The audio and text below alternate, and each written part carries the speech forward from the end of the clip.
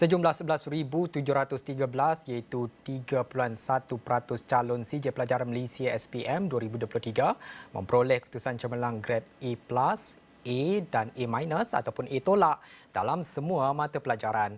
Ketua Pengarah Pendidikan Malaysia Azman Adnan berkata, angka ini menunjukkan peningkatan lebih baik berbanding tahun sebelumnya, iaitu 10,109 calon atau bersamaan dengan 2.7% pada tahun sebelumnya. Maknanya dari segi pencapaian uh, kualiti kita adalah semakin meningkat. Bilangan calon yang memperoleh keputusan cemerlang telah menunjukkan peningkatan sebanyak 1,604 calon iaitu 0.4%.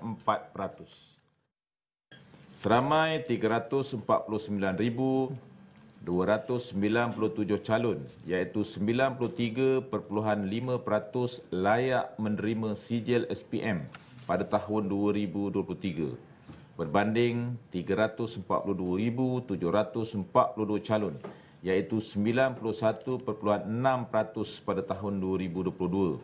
Angka ini menunjukkan peningkatan sebanyak 6,555 calon iaitu 1.9%.